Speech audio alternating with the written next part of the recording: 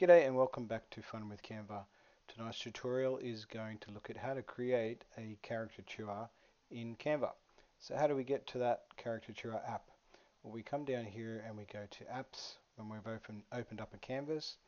We go to uh, the search bar and we type in caricature and it will bring up this app.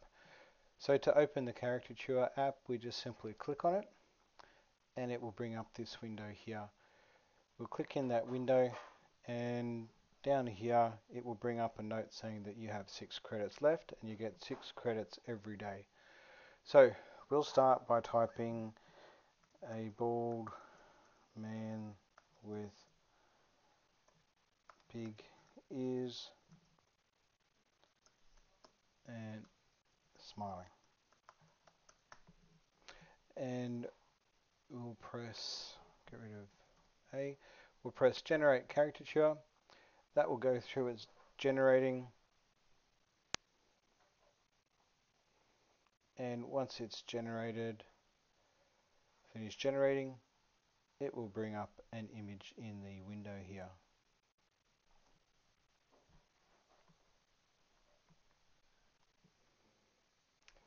Might take a little while depending on the description that you have put into the box and there you go. So that is the caricature maker in Canva. Thank you very much and enjoy your night.